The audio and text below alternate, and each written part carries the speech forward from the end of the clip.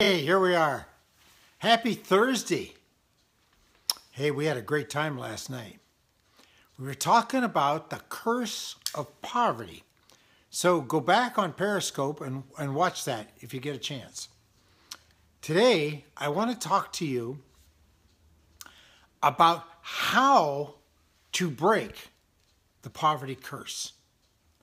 How to break the poverty curse. The first thing you have to understand is that there is a poverty curse. There's a curse of poverty. When a little over, about probably about five years ago, four and a half, five years ago, Mary and I went through a very bad time, very hard time. We failed at a major, we had a major project, and it failed.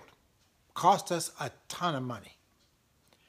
And afterwards, when it was all done, I was just literally in a rage over this. And I, I kept saying to her, I said, this should not be. This should not be. Now, I didn't blame anybody. I didn't blame God. I knew, I knew it was not God's fault. I knew that. I knew somewhere the problem was me. I knew that. I just didn't know how. I didn't know how. And I started crying out to the Lord. I said, Lord, this should not be. There, there's something wrong here. I mean, there is really something wrong in my life to have this happen to me. I'm telling you what, people, when you cry out to God, He will answer you. Call unto the Lord, and He will answer you. I'm telling you what, and He did. Did He ever? He showed me. He showed me what the problem was. And believe me, there was a huge problem. And the problem was found in Deuteronomy chapter 28, which is the curse of the law. And my problem was found mainly in verse 29. Now you can see how I got that marked up. Verse 29 says, And thou shalt grope at noonday as the blind gropes in darkness, and thou shalt not prosper in thy ways. Why hasn't God helped the people in Africa? Because the, lot, most of the people in Africa have not cried out to God. Somebody just asked me that question. But they, but you can tell, the missionaries will tell you that the places in Africa that have gotten a hold of the blessing and have gotten a hold of God live entirely different than the vast majority of the people, just like in this country. Amen. Now let's get back to this. And thou shalt not prosper in thy ways, and thou shalt be only oppressed and spoiled forever. Spoiled forever. That's a curse. That's, that's a curse that lasts forever a curse that lasts forever. And the Lord showed me and and and and dropped it into my spirit that my father had been cursed by his father way back when when my granddad my granddad sold his farm in Kittanning, Pennsylvania. He had a large farm, a very large farm. And he had a lot of people that worked for him. And they decided to way back to to sell their farm. He just after his wife died, my dad's mother, and somehow or another he blamed his dad for her death. But but she just died. They didn't, you know, in those days they didn't have the treatment that they do now. And uh, so he blamed him, and the two of them had a big falling out. But the truth of the matter is, my dad didn't get along with anybody. So for him not to get along with his dad was no big deal. I mean, he just didn't get along with anybody. And so my my granddad took the rest of his family and the money that they got from their farm and they all went to California and bought a huge tract of land out there in the San Fernando Valley, out there where they do vegetable farms and he started a huge truck farm out there because the land out there was dirt cheap. There was no irrigation. but irrigation was just beginning out there in the 30s.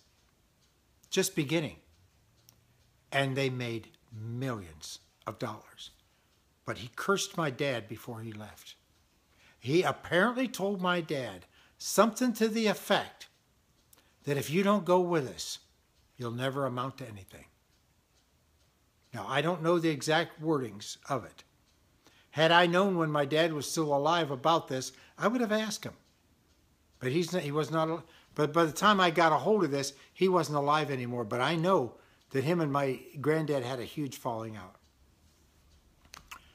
And my dad struggled. Now he was very smart. He was a merchant marine officer, high ranking officer, made a lot of money, but all the money that he made went right through him. and he died virtually with no money at all.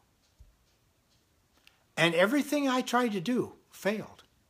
I struggled at everything I did. And, but I was smart, college educated, graduate school, even Bible college. But and and we were somewhat successful. But every but all of the money that we we made, I lost hundred thousand dollars in a restaurant deal. We had a very successful restaurant, but I lost $100,000 in, in the process. Now, I'm, I'm being honest with you people. And I lost tens of thousands of dollars in other ventures. I went through a ton of money. I mean, I was rich and poor and rich and poor and rich and poor. Just every time I would get rich, I'd lose it all. The devil would steal it. That's the curse. That's the curse. There was a time when I was 28, 29 years old, I never walked around with less than $1,000 in my pocket.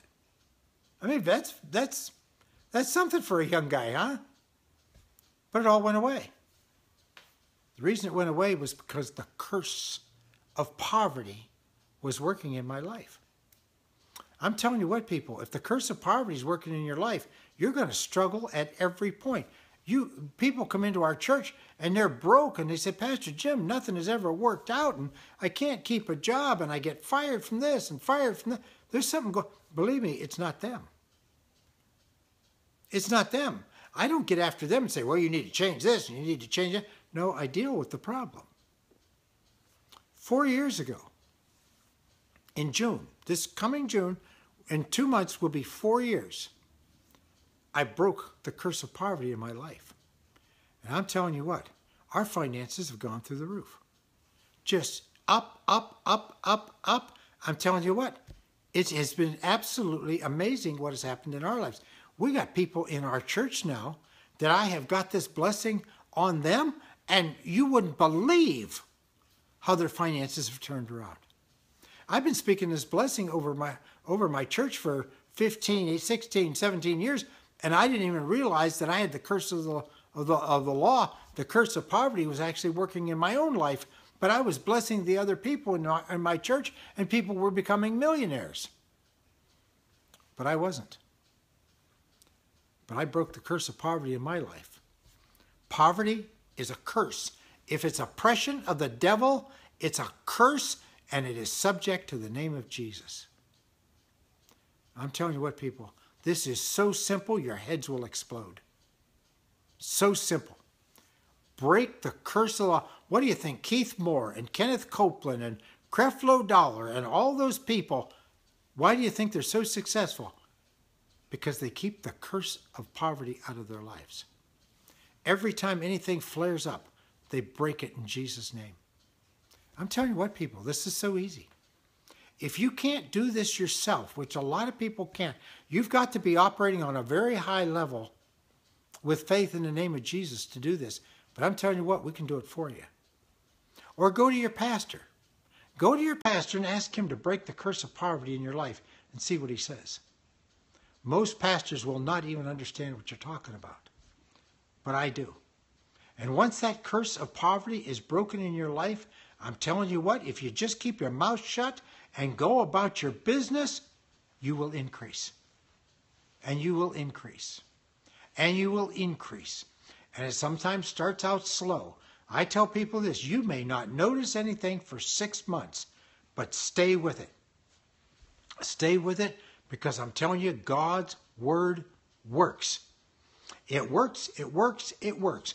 It works, and I'm telling you, when it works in your life, I will be right there to say I told you so. Because it does. It does, it works. Kenneth Copeland didn't notice any difference in his life for 11 months. 11 months. But he knew that he was on the right track. And I'm telling you what, this blessing, Christ has redeemed us from the curse of the law so that the blessing of Abraham can come on the Gentiles. But the curse of the law has been allowed back in through people's words and through speaking curses and things like it was with my dad.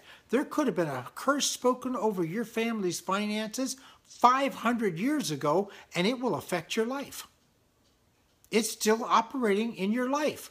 It could have been your granddad, your great granddad, your great grandmother. Somewhere, somewhere, somebody spoke a curse and allowed a curse to get into your family and I'm telling you what, it will affect your finances forever.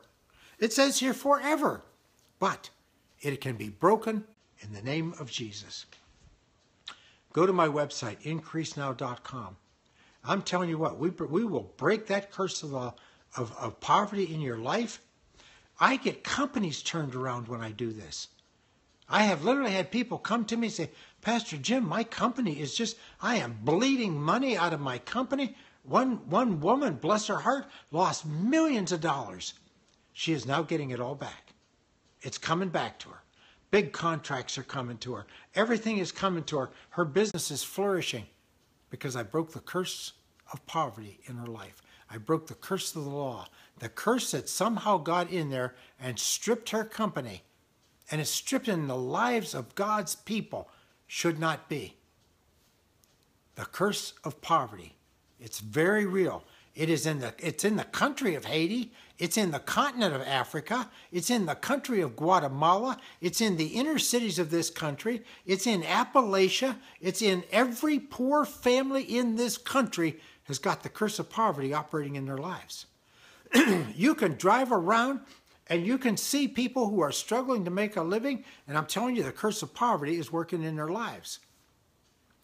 But once it's broke, once it's broke, within six months, a year, two, three years, everything changes. Because your natural inclination is to increase. All we got to do is get the devil out of your finances. Break the power of the curse over your checkbook. Break the power of the curse over your lives. And what you start, what you do, will begin to prosper. You may not notice anything for several months, but I'm telling you what, you will prosper and it will be there.